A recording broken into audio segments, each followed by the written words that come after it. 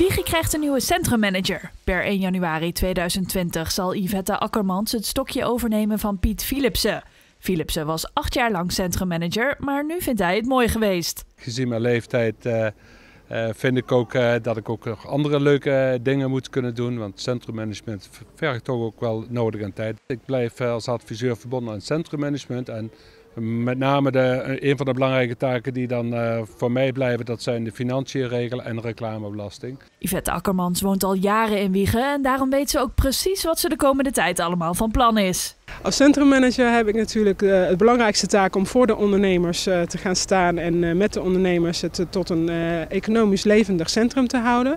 En zij betalen ook reclamebelasting daarvoor en vanuit die middelen moeten we kijken welke beste acties we kunnen uitvoeren om dit centrum levendig te houden.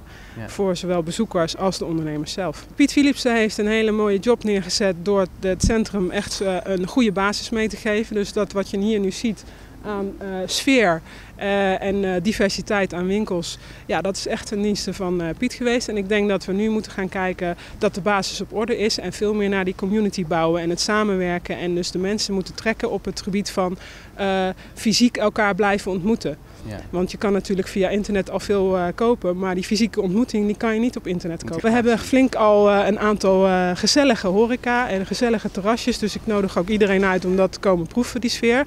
In combinatie met het kasteel en een goed bereikbare NS-station.